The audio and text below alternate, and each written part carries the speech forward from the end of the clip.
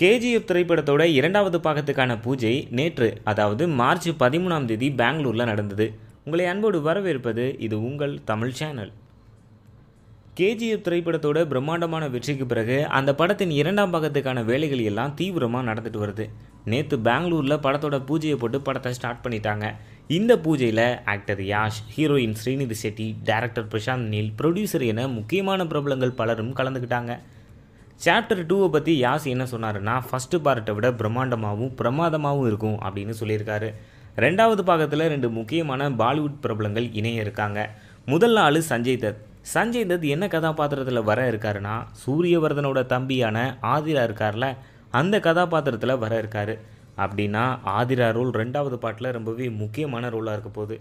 இன்னொரு ஆள் ரவீனா தந்தன். பாலிவுட்டில் ரொம்பவே முக்கியமான ஹீரோயினான இவங்க தமிழில் ஆளவந்தான் திரைப்படத்தில் நடிச்சிருக்காங்க. இவங்களும் இரண்டாம் பாகத்தில் இணையிருக்காங்க. முதல் பாகம் வெளியாகி இரநூத்தம்பது கோடி வசூலை கடந்துருச்சு. கன்னட சினிமாவில் அதிக வசூல் எடுத்த முதல் திரைப்படம் கேஜிஎஃப் தான். அதனால் இரண்டாம் பாகத்தை இன்னும் பிரம்மாண்டமான செலவில் தயாரிக்கிருக்காங்க. தமிழ் கன்னடம் தெலுங்கு ஹிந்தி என பல மொழிகளில் இந்த படம் தயாராக இருக்குது பார்ட் டூவிற்காக வெயிட் பண்ணுவோம். மேலும் கேஜிஎஃப் திரைப்படத்தை பற்றின அப்டேட்டுக்கு சப்ஸ்கிரைப் பண்ணுங்கள் உங்கள் தமிழ் சேனல். இந்த செய்தியை பற்றின உங்களுடைய கருத்துக்களை மறக்காமல் கீழே உள்ள கமெண்ட் பாக்ஸில் பதிவு பண்ணுங்கள்